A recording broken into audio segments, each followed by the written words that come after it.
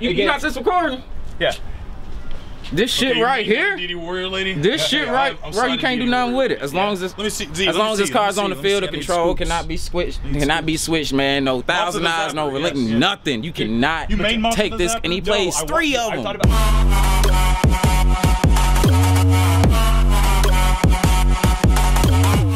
To start this off by giving the biggest shout out that I can to my sponsor, MetaMats.com. They make the best mats in all of Yu-Gi-Oh! They're also the best sponsor in all of Yu-Gi-Oh!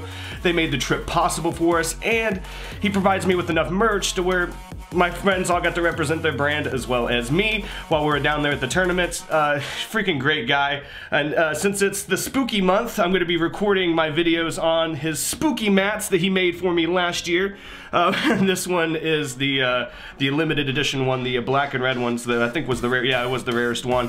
Uh, we're going to be doing this deck profile on this mat. Shoutouts to MetaMats. You can also get 10% off, um, you know, on their website using the code YugiJesus. You can also use the same code YugiJesus on BoardWipe.com and get a 10% discount on stuff there as well. But this video is going to be all about this. Oh shoot! I thought I had it organized for the. Shoot! I gotta reorganize it. I thought already had it organized. All right, so this video is going to be called "Even Better Beatdown for Goat Format" because the last time I showed you guys this deck, well, well, except in the vlog I made about the tournament a little while ago. But either, either way, last time I showed you guys Blind Loyal Beatdown, the video was called "Better Beatdown for Goat Format." So this is even better beatdown for GOAT format because this uh, technically was the first place deck of that tournament.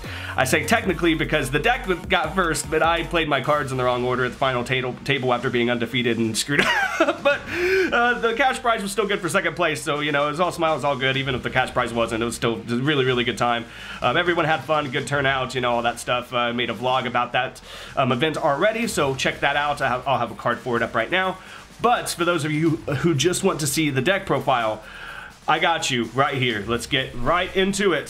Three blindly loyal goblin because this thing cannot be snatched, stolen, it cannot be uh, thousandized, it cannot be relinquished, it cannot be mind controlled. It, it, just it's a stud for you. You don't have to set dust tornado behind it. You know, you just do anyways. Uh, blow out their back row.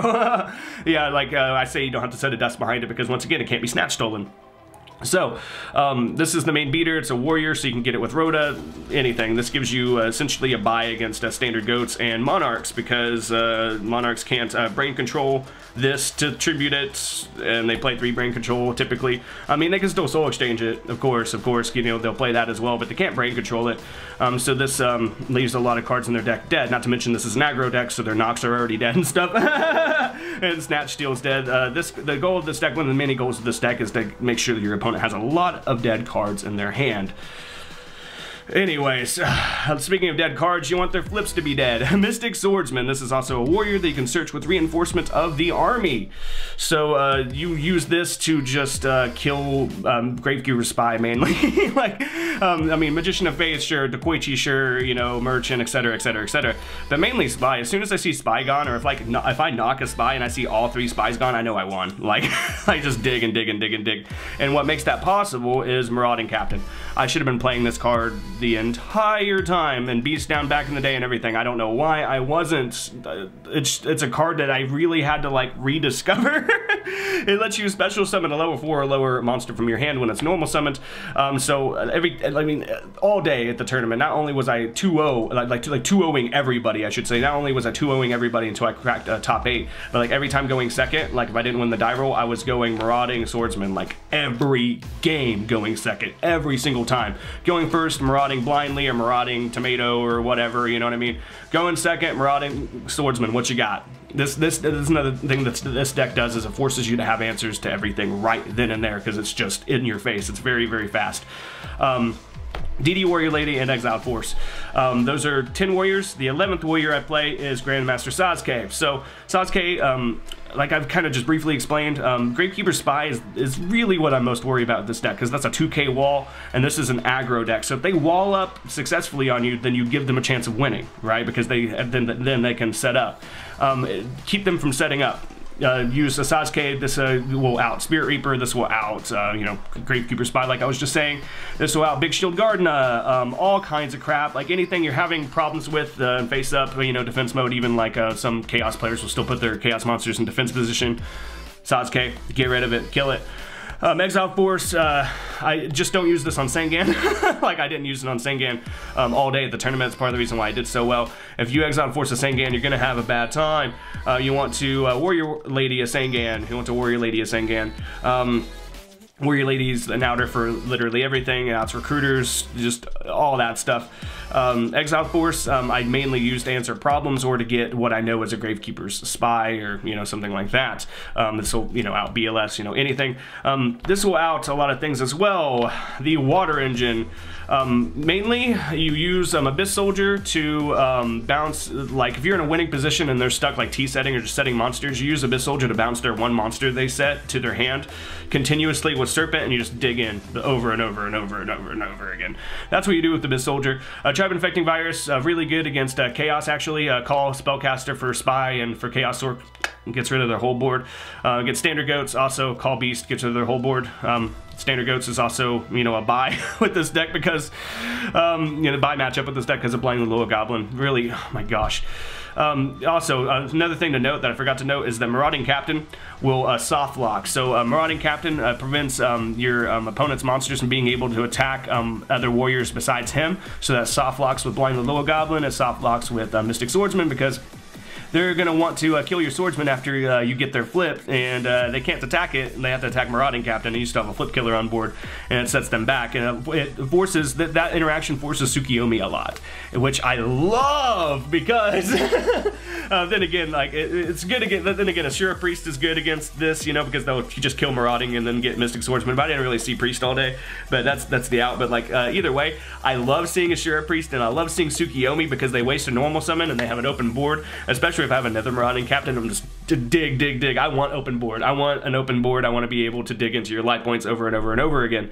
Um, so then I play Mystic Tomato and Sangan. That is it for the monsters. You guys would be like, "Where's your other dark? Where's where's Don Zalug?" I uh, don't play him. I keep I kept trying to fit him in, but he's he's not that good. It's like, look, and you guys are gonna think I'm crazy. I don't play Delinquent Duo either. because if they've already Thunder Dragon, so you, you, typically play against Chaos all day when you're playing Goats. Against, you know, when you're playing Goat format, you're, you, yeah, you're playing against Chaos all freaking day, essentially. Um, so, if they've already Thunder Dragoned, then your duo sucks. And if they've already, uh, you know, if they already have a Night Assailant in hand and like a Flip Engrave or whatever, then your duo sucks. And same thing with um, Don Zalug. And also, I had uh, somebody, um, uh, Don Zalug, me at the tournament, and they got my Serpent. And I could show footage of that right now. So not only do you have to worry about Chaos cards, but you have to worry about Sinister Serpent, making Zalug not as good as he could be. And that's just all it comes down to. He can be very, very, very, very good, but uh, the goal of playing uh, this ratio right here is just to get to Sangan, to get to Sinister Serpent faster, to be able to own people with Abyss Soldier. Um, I don't know why I ever cut the water engine. It is so damn good. Um, I actually prima looped people like like all day. Like I had Prima looped a, a, lot that day. If you guys don't know the Prima loop with Abyss Soldier, you bounce your own Premature Burial to hand and then activate Premature Burial again, get you a lot of monsters on board really fast, which doesn't really happen in Goats, so you can overwhelm your opponents, and that's another thing about, Marauding Captain that caught so many people off guard is that Goats is a slower format, it's a set format, it's a back and forth format, and I was actively trying to not make it that way. I was very much like, no, I have all these monsters on board, you flip Mirror Force now, or you have Torrential now, or you lose. And most of the time they didn't have it, so I 2 people all day. that's that's what it was. Very, very, very aggressive. Um, yeah, just make just uh, get their life points to zero before they set up. That's the name of the game here of this deck. Um, two reinforcement of the army, so that will make it um, exactly 20 monsters if you look at it that way. Um, yeah, like drawing two tomatoes sucks, but at the same time, like they always banish one anyways because it's tomato. I mean, think about it. If you have Chaos Sorc, are you are you going to attack into tomato or banish it? Well, you're going to banish it always, okay? And so that's exactly what happened. So, I, I mean, if I drew two, it was never that bad, you know? Uh, plus, if I drew two, cool, that's uh, double the chance I'm going to get, get to Sangan faster. That's that's how you have to look at it. Um, now drawing all three kind of sucks, but that that literally never happened to me. Um, should knock on wood, make sure it never happens to me. But um, I might end up putting a dark in here. I just don't I just don't know where I, where it would be, like where the room would be. Uh, when you guys see the jars of greed, you're gonna be like, well, there's there's your room right there. You're playing three jar of greed. Ugh, I know jar of greed is so good though, and it helps you see your side deck cards faster. Like especially in the burn matchup, so you make sure you see Royal Decree, so you get the, the easy win versus uh, Burn, um, because if you keep Decree up against Burn, you win, and uh, you need to make sure you see that Decree. Moving on though, like I said, 20 monsters. Play three mind control all day long. I did not activate mind control on a Gravekeeper spy. Very, uh, very uh, good. Um, yeah, I just practiced a lot, made sure to always activate mind control on, and I really did only activate it on Faith. I think it Dekoichi one time, but I got resolved it against Faith several times, and it won me a lot of games. Um, you could even, this is something I thought about, and this could be the, the other dark targets for Mystic Tomato, I guess. So something I thought about was uh, maining a uh, Gravekeeper's Guard just so if I did take a spy um, with mind control on accident, that I could like you know still have a target. But Gravekeeper's Guard's just okay, you know. He's just 19, and his effects just okay. You know what I mean? I just I wanted I wanted to just kill fast, and uh, this card helps you do that. Um, there's several times where I would just like not care what a monster was. I would just take it just to get last damage in. And this card lets you do that. This card lets you just dig more because you take you you clear the field. You effectively clear the field so you can get direct damage in, as well as functioning as a flip killer or you know flip negator or whatever. Um, two knock because this is the better flip negator. like, uh, yeah, you want to knock uh, Gravekeeper Spy and get that out of the deck. Uh, Dekoichi, you know, stuff like that. Um, you want to, uh, no, I love it when I know they have Faith because I wait for them to set it so I can take it with Mind Control and get my own Rota back or, you know, or if I don't have a spell, I bare minimum just get the Mind Control right back you know, if, if, I don't have a spell in graveyard. But you really want Pot of Greed or Graceful Charity with Magician of Faith, of course, or, you know, Snatch Steal, because Snatch Steal is very, very, very powerful. Um, it's one of the most powerful cards in Goat format, really, if you think, if you think about it. Uh, Premature Burial, um, I play a premature, um, you know, mainly for Abyss Soldier with the, for the Abyss Soldier loop, like I've already explained. But uh, the other targets, I mean, you can do Sangan and odds and ends, like a tomato or you know, or like a swordsman or whatever. You know, there's always odds and ends. But mainly Abyss Soldier, mainly Exiled Force. Being able to use Exiled Force again, I love. I love being able to uh, do like uh, so sometimes. Uh, so what you can do in the standard goat matchup is you can kill a goat, right? And then Trib to get Thousand Eyes, and then Prima, you know, you know, I mean, and like get something else or whatever if they have like another card up. But you can get, you can kill like three things with Exile in one in one turn, essentially with Prima if you if you uh, play right and stuff. And then uh, Heavy Storm because uh, Heavy Storm is um, spell trap destruction. Um, so that's actually going to start the spell and trap destruction here is Heavy Storm, and then I play MST because it's uh, MST three Dust Tornado. Since I'm not playing Breaker, it's even more important to max out on the spell and trap destruction. Um, especially because like skill drains running around. Breaker's not that great anyways. These are better than Breaker. Breaker's great, don't get me wrong. It's just I, I don't I never felt the need to normal summon him. Like it, it, like he was in this deck, but like I didn't want that to be my normal summon ever. Like hardly like you, you get what I'm saying. Um, I wanted my normal summons to be other things like outers or just you know standalone studs like you know a blindly loyal goblin or whatever that would just you know stay on the field and let me just keep digging. Um, yeah, a breaker can be a, uh, what's called a pressure cooker play because you know, if you normal summon on your first turn, your opponent won't really set anything that's not chainable and stuff. That's what we called it, is the pressure cooker play. Um, um, you know, with breaker being the pressure cooker. But uh, I, I, I, just, it, it, I mean, how often do you draw breaker in your opening hand? And like I already said, um, skill drain is a card and uh, burn play skill drain, a, a, a beat down decks will play skill drain, stuff like that. Breaker obviously does not work with skill drain, so it's it's an okay card to cut. I mean, a lot of these cards don't work with skill drain, but you get it. And since skill drain is a card, these cards kill skill drain where breaker cannot kill skill drain. Um, two compulse. It used to be three compulse, but I cut one for a torrential. Uh, the reason why is because you can play dead and slow play with this and like own Tsukiyomis and different things with this. And actually, that did come in handy. I did slow own a Tsukiyomi at least one time in that tournament. Um, yeah, I liked the one torrential over compulsive, especially because like let's just say they do resolve spy. This lets you blow up the entire board and get them all off the board and you really don't care. This is obviously uh, good against standard goats and other things as well. And another thing with this deck is uh, using life points as a resource is another reason why I don't play Delinquent Duo. I will let people attack into me and stuff, especially with Torrential. No, load up that board. Yeah, torrential. Uh, like, you know, you can summon your own Sangan to trigger it or whatever. And that's another thing. You can slow play people with Sangan and torrential. You, can, you know, you do all kinds of stuff. Um, yeah, torrential is just uh, it's a board wipe, and uh, you know, you know another board wipe I've thought about playing. I mean, we don't have Raigeki or Dark Hole in this format, right? So another uh, board wipe I thought about playing is the Lightning Vortex, but Lightning Vortex you have to discard for. You don't always have Serpent. Not to mention Lightning Vortex only gets face ups. This you can slow own face downs with and stuff. Let's just say you don't have a monster, and they they summon Tsukiyomi to set their faith again, right? Well, now they have two monsters. Blow up, you know, go ahead and two for one them really quick, and you also don't have to worry about Faith anymore. And they wasted their summon, so it's going to pass to you typically, you know. So yeah, uh, torrential tribute is the nuts, and then uh, jar of greed. Um, jar of greed lets you uh, get to your side deck and stuff faster. Um, I, I I had people like blow this up with breaker and MST and and dust like all day that day at the tournament, and I loved it. I loved loved loved it. I love chaining this card, getting a free draw. Um, also, something to say about Torrential, um, some uh, some people will be like, duh, you should always play Torrential. Torrential is fantastic in this format. Well, yes, but actually no, uh, not typically in beatdown decks, which is why it wasn't in my previous. It, like it was, this card wasn't in beast down, for example, because this card was terrible in beast down. You know, when I was playing beast down. Um, the, the, I thought the same applied to this deck, but then I started playing this deck a little differently, and I realized that Torrential would be very advantageous to have, so I added it to the deck. But typically in, a, in an aggro deck, you want cards that keep you going more, and this doesn't keep you going more. This is just an insurance policy. But at the same time, though, I started viewing this as an insurance policy, like, hey, well, they can clap back, and this makes sure that they die. So, um, especially if you're not playing Mirror Force, I'm not playing Mirror Force. Um, you could definitely make room for Mirror Force. You can definitely make room for Zalug or whatever you, you feel like playing with a Jar of Greed. Uh, but Mirror Force, uh, I just didn't feel the need for it.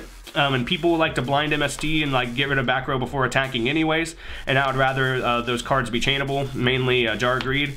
Uh, the only non-chainable trap is uh, Torrential, but even that's chainable. You know, I mean, you can chain it to a summon, um, but you, get it. I wanted more chainable cards, and uh, these traps are, you know, Puzz MST are all more chainable than uh, Mirror Force. So that's what I went with. Mirror Force is a great card. It's just, uh, once again, life points is a resource and uh, better uh, monster choices, better, um, you know, gameplay, um, using your, your opponent's cards against them, um, and just, uh, I don't know, having better standalone monsters and stuff and outers. Just having better cards is better than um, relying on um, I guess Mirror Force to save your ass or Sakuretsu Armor to save your ass, especially because um, once again, this that's actually an area where Mystic Tomato comes in handy. This card is a floater, of course, uh, so it uh, you know keeps you alive, keeps monsters on your side of the board. I would always try to Tomato into Tomato if I could, obviously to deck thin, and then Tomato into uh, that Sangan after. Yeah, but um, always Tomato into Tomato just for board presence and stuff like that, um, unless you really want that um, uh, Serpent now, then you know, by all means to go Sangan. But even then, like I, I think I still went to Tomato. Tomato use my life points as a resource. But with all that being said, uh, this deck was more focused on being aggressive, less less um, focused on um, you know making sure I always had a target for Tomato. you know what I'm saying? Like what, that was not the main focus of the deck. Main focus of the deck is do not let your opponent set up get a bunch of monsters on the board really fast with Marauding Captain and just own them. Just keep attacking, keep digging.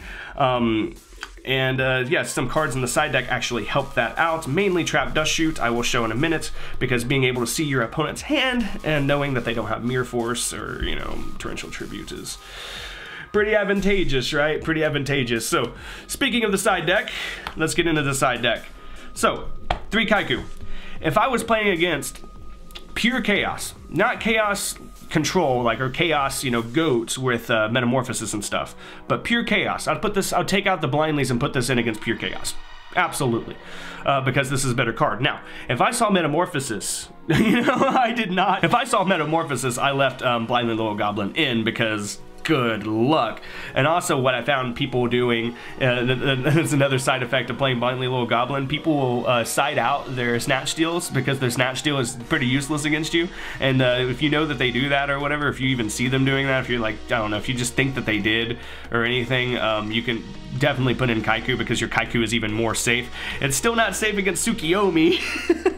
uh, it's still not safe against Tsukiyomi, of course, uh, because he's got a little butt, but um, he's, he's, he's pretty good. I mean, he, he banished, I mean, he, he empties your opponent's graveyard and, and keeps them from summoning their Chaos Monsters. Um, he's, he's Kycoo, he's freaking great. Um, Three Smashing Ground, this is good against uh, that Reasoning Gate crap. It's good against uh, Beatdown Mirror Match and stuff like that, just to be able to clear the board, get damage in. Um, this is good against Jinzo and stuff, just get rid of anything. And plus it's a generic card that just says blow up a face-up monster. It's just a generic side. Um, likewise, uh, Bottomless Trap Hole, good against uh, the same things, good against uh, Reasoning Gates. Uh, you call six for Jinzo and anything they bring out. Uh, I don't know, Sacred Crane, even if you want to. You know, Sacred Crane's not a threat. But um, I don't know. Uh, so DMOC, they bring out, like you call six for Jinzo, um, they hit DMOC, you banish it, you, you get it. Um, this is good against, you know, uh, beatdown mirror match, because let's just say they're playing Beast Down, they're playing, so they'll play Berserk Gorilla or any monster that's bigger than your 18s. Just bottomless trap hole, and you don't really worry about it anymore. Three, Royal Decree, because Burn is a deck, um, and I actually sided this against a Panda Burn in the tournament in top four, and it won me top four. Um, so Royal Decree, fantastic card. You um, and, and, all the more reason to play uh, Jar Greed in the main, like I was explaining, is to get Royal Decree so that um, you have um, easier matchups against uh, trap heavy decks. Those decks can be hard to beat. Royal Decree makes those decks easy to beat. So I highly recommend uh, Royal Decree. Um, once again, especially against uh, Burn, because all the best Burn cards, Secret Barrel, Just Desserts, Skill Drain, um, etc., etc., uh, Wall, you know, Wall, Gravity Bind, uh, you know, all those cards, they're all traps. This shuts them all off. And then the last three cards, Trap Dust Shoot, because like I said earlier, being able to see your opponent's hand shuffling out a monster and knowing that they don't have Mirror Force or Torrential Tribute is very advantageous. You just own them faster. like uh, if I wanted Swift Game 2s, I would put in Trap Dust Shoot. Um, that's that's really what I did. Um, this is good against uh, Chaos because you get rid of the Thunder Dragons. Uh, this is good against FTK Shenanigans because you get rid of a monster. You can use this against Empty Jar if you want to get rid of their, you know, Morphing Jar or whatever they have in their hand. I don't know. I don't know. No, Trap Dust Shoot's another one of those cards that's generic. You can put it in against anything. Um, it's also not that bad in this deck um, because I'm playing Compulse. Um, you can get your um, opponent's uh, card size in their hand 2-4 to activate it with Compulse or with um, Abyss Soldier. You bounce things with Abyss Soldier to be able to uh, get their hand size to 4, so that actually has some synergy with the, uh, you know, so this has some synergy with the main deck, I should say. Yeah, that's it, guys. Uh, better beatdown for GOAT formats uh, like what I did is I just uh, practiced, uh, like I said in the vlog, I just practiced all week and practiced the order that Chaos players like to play, like to set their cards in and stuff. Completely took advantage of that.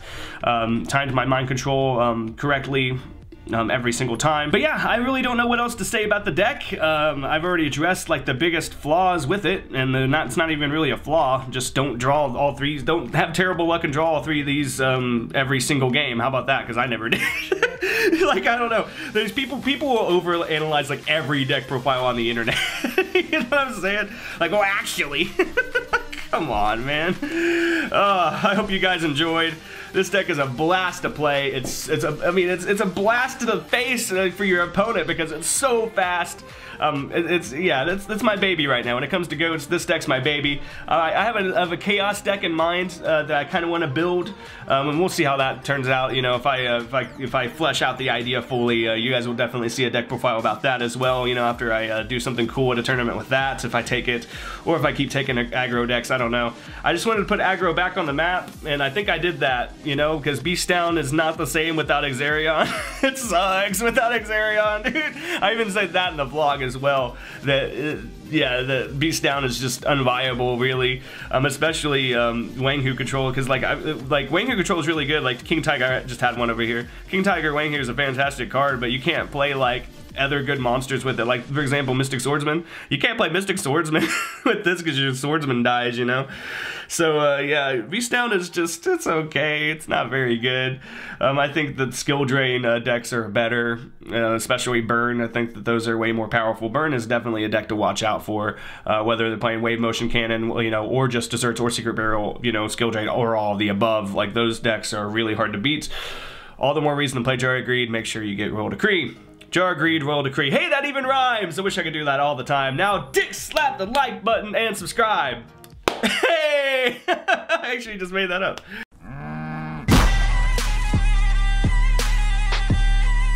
Subscribe!